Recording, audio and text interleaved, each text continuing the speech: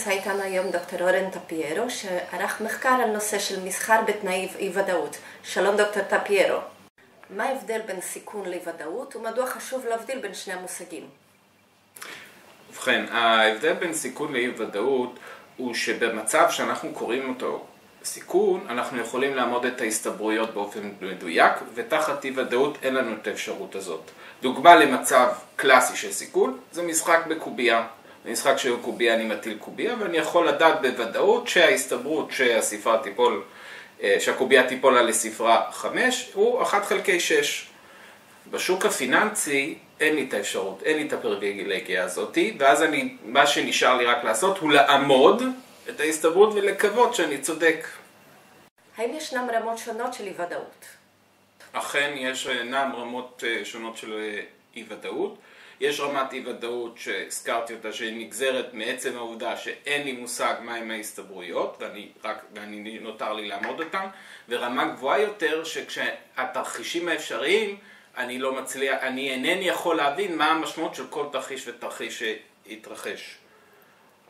איך הרעיון של אי ודאות בא לידי ביטוי בניהול תיקי השקעות? אז בניהול תיק השקעות כמובן, בגלל שאנחנו מתעסקים בהחלטות פיננסיות, בניהול תיק השקעות מה שקורה זה שאנחנו למדנו בכלכלה שאנחנו יכולים לפזר את הסיכון.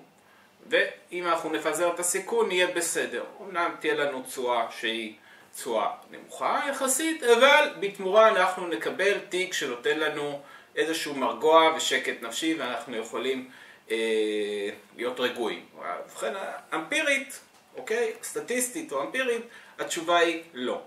מסיבה פשוטה. הסיבה היא כזאת, תראו, נכון, אם אני לוקח, אם אני מפזר את הסיכון, אז התנודה הממוצעת היומית היא נמוכה יחסית, אבל, אבל הסבירות להתרחשות של אירועי קיצון בתוך התיק היא נורא נורא נורא נהיית יותר ויותר אפשרית.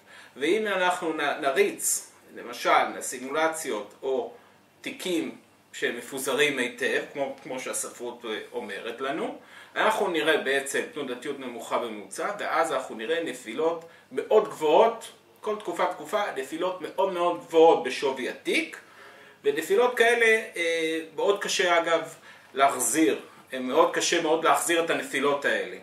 אה, ולכן אנחנו צריכים להיות נורא נורא זהירים כשאנחנו בונים את הרכב התיק ואולי לשקול אפשרות של פחות, לפזר פחות את הסיכון, אבל, ולהיות עם תיק קצת יותר תנודתי מצד אחד, אבל מצד שני להיות עם תיק שהתרחישים לאירועים אה, קיצוניים יותר נמוך יותר. האם ניתן לאמוד את הסיכון בנפרד לאי ודאות? מאוד קשה לעמוד אותו, אמנם יש כלים שהספרות הפיזיקלית מאפשרת לי לעשות את זה, אה, אבל, אבל, אבל, אבל, אה, עדיין אנחנו צריכים לזכור שאנחנו באמת מתעסקים בקונספט שאנחנו לא יודעים ואנחנו צריכים, בגלל זה מאוד מאוד חשוב וזה בעצם המוסר ההשכל של, ה, של רוב המחקר שאני התעסקתי בו ושל אנשים אחרים זה שאנחנו צריכים ללמוד לקחת החלטות לא על בסיס מה שאנחנו יודעים אלא על בסיס מה שאנחנו לא יודעים. האם תוכל להרחיב קצת על הנושא של מהו algo trading?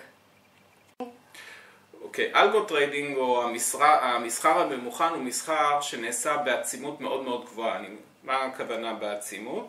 הכוונה היא שאנחנו יכולים להסתכל, אם אני לוקח נתון של מסחר בתוך יום, אני יכול לראות פעולות שנעשות במרווח של אה, מעילית השנייה. ומה שאנחנו יכולים ללמוד מהמסחר הזה זה שבעצם בגלל היכולת, בגלל שיש היום במיוחד למשקיעים מוסדיים ולקרנות גידור מאוד גדולות, יכולת לבצע פעולות נורא נורא מהירות בשוק, יש להם גם יכולת להטות את המחירים לטובתם. אני יכול לתת לכם, ותרשו לי שנייה להסביר לכם את זה. יש לנו ביום מסחר נתון 90% מהפקודות בנסדק מבוטלות. כלומר, רק 10% מכל הפקודות שניתנות ביום נתון יוצאות uh, בעצם לפועל. אבל הפקודות האלה שמבוטלות, יש להן יכולת להשפיע על המחיר. אוקיי? אם יש לנו סוחר שאומר, אוקיי, אני נותן, נותן פקודה של מחיר שהוא יותר גבוה מהמחיר כרגע בשוק, יש איזושהי אלגוריתמים אחרים או סוחרים אחרים עוקבים אחריו, אוקיי? אבל, אבל הפעולה הזאת אף פעם לא מבוצעת. הסוחר מבטל את הפעולה ובכך הצליח לנפח את המחיר לטובתו. ואנחנו רואים הרבה מאוד מקרים כאלה בתוך המסחר התוך יומי, אנחנו רואים את זה אה, הרבה מאוד. עכשיו מדובר בדרך כלל ברבע סנט או חצי הסנט, אז, אז עבור הסוחר הרגיל זה לא בעיה, אבל יש לפעמים רגעים שזה פשוט משנה את כל המה... אבל יש רגעים, ואת זה הצלחנו גם כן לראות, שזה משנה את כל המהלך האקראי של המחיר. כלומר, זה, וזה זה אגב קונספט שמאוד קשור לאי ודאות, אם מחיר נמצא נגיד ב-100 דולר והוא עולה ל-101, אז הוא עובר מסלול א', אבל אם הוא עולה רק ל-100, 100, לא 101 דולר, אלא 100 דולר ועשרה סנטים, אז הוא עובר מסלול אחר לגמרי, אוקיי? וכאן נכנס גם פה אלמנט של אי ודאות עבור הסוחר הממוצע. וכשמדובר בחצי סנט או בסנט או אפילו ב-50 סנט, אנחנו, אה, מדובר פה ביכולת שאו תנפח את התשואה שלנו כמשקיעים בחצי אחוז, או תפגע בחצי אחוז, וחצי אחוז אין מה לעשות, זה הרבה, זה עמלה אה, שאנחנו משלמים למנהל תיקים שלנו. תודה רבה, היה מעניין מאוד.